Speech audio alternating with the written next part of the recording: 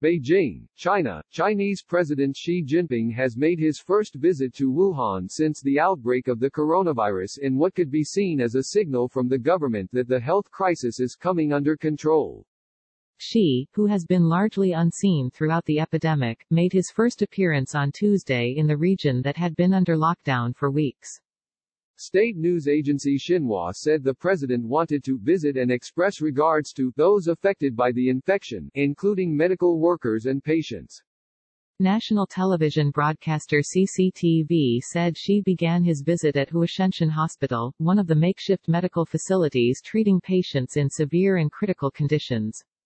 Images published in state-owned media outlets showed Xi greeting the healthcare workers and meeting with health officials, as well as waving to a coronavirus patient through video conferencing. More than 80,000 people have been infected in the country. More than 3,100 have died. Xi's visit came at a time when reported cases of coronavirus infection, known as COVID-19, are steadily declining in China. In recent days, only a few dozen confirmed cases were reported, compared with thousands during the peak of the epidemic. Many provinces in China have also reported zero new cases for a number of days. Additionally, the government also ordered the closing down of the makeshift hospitals in Wuhan due to the decline in the number of reported cases. According to reports, less than 20,000 of the confirmed cases are still under treatment, with almost 60,000 having reportedly recovered. Throughout the outbreak in China, President Xi made very few public appearances. For people in Wuhan, who have been under quarantine measures, his visit did little to appease residents who are becoming more resentful of the government's response. When all of us were asking where Xi Jinping was in the initial days of the outbreak, he made zero appearance, a Wuhan resident, who asked to remain anonymous for fear of repercussions, told Al Jazeera. After the peak of the epidemic had passed and the outbreak is under control, he came and told people, remember me, I have indeed come to visit you. This kind of political show is disgusting.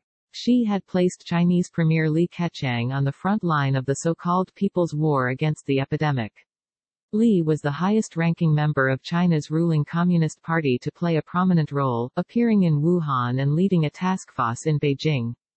I don't really care if Xi Jinping is visiting or not, another Wuhan resident told Al Jazeera. All I really care about is if the situation is actually under control instead of just another show. I also care about when the lockdown will end. We are getting insane here. According to another resident. Some residents, however, were more optimistic following the president's visit. My parents are really excited because they think this is a sign of Xi Jinping being confident in the situation being under control in Wuhan, a third Wuhan resident said. But, at the end of the day, it's still those medical workers and volunteers that really helped the city embark on the road to go back to normalcy.